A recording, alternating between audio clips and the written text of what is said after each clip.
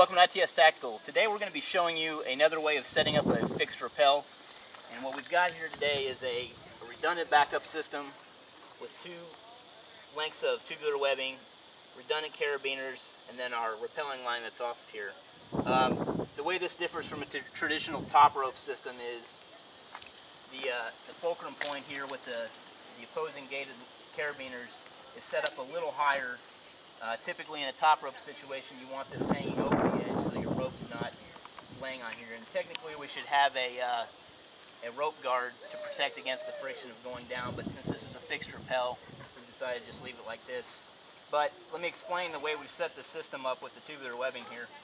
And if you can zoom in here, I'll show you that what we've done is create two slings. So the whole point of this system is redundancy.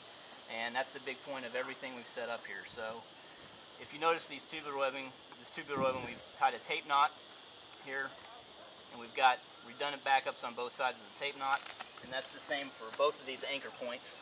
These are fixed anchor points. These are uh, 25 KN rating steel bolts that are tapped into the rock here. And we've got locking carabiners for each side of this thing. If you remember the uh, mnemonic device here, you screw down. So if you notice the gate on this is down and out. You're going to screw down so you don't screw up. And we've got our two tubular webbing lines running down to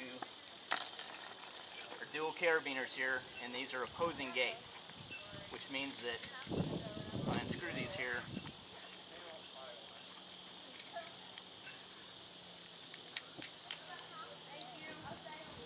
the gates are opposed.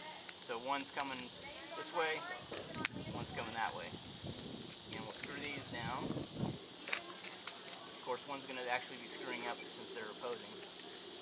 So you'll see that as you're coming down, the locking gate on these carabiners is pointing up towards the sky, and that's how you want it. You don't want these this uh, these locking mechanisms rubbing against the rock. Same with these. You want the, uh, the direction of the pole to actually be lifting this up rather than pushing it into the rock. That's why we have our locking mechanisms pointing outwards. So let's get into the rappel. Um, first, we're going to be using a Prusik as a safety device for the rappel. Again, redundancy. Uh, if you need help making a Prusik loop, uh, check out ITS and our Knot of the Week series for that. So, me and my buddy Jason here.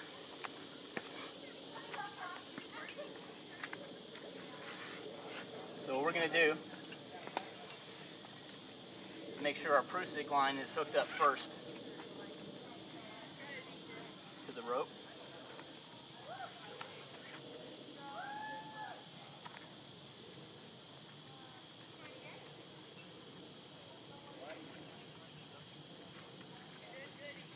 Again, if you uh, need a demonstration on doing this, since we're kind of doing it quickly here on camera, refer to ITS and our Knot of the Week series on how to make a Prusik.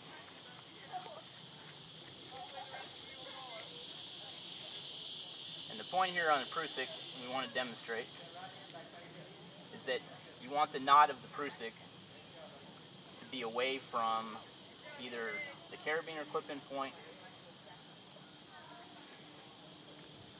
or the point at which you're hooking it up to the rope. So first of all, before we hook in, let's make sure this is twisted the right way on the rope. I'll demonstrate that. So, way here and we'll show. Make sure our lines are straight. Carabiners are coming the right way. We want our Prusik to be off to our offhand. So away from your braking hand flip into Prusik first. Slide that down. Now we'll come in with our figure eight here. This is actually a rescue eight. You can tell by these little ears that are coming off of it.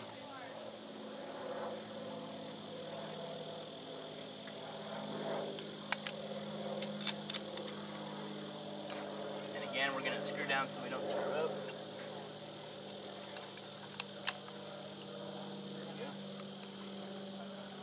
Got the Prusik line below the figure eight itself so that it's not interfering. But this Prusik acts as a redundant backup system so that if you do happen to let go of the rope, this Prusik's going to catch you through the friction that it produces. we're going to tighten this up so he's working as close to the fulcrum point as possible so that rope can catch him before he even steps off the edge. So now he can sit there with his hand behind his back like that all day long and he's not going anywhere. But as he lets off with his brake hand, his hand, his opposite hand comes above the prusik. There you go. He's just going to walk right over the ledge. There we go. So as you can see, as he's coming over, he's flipped over a little bit, but they're still in a situation where they're not gonna they're not gonna get damaged as he's going down. So there you have it.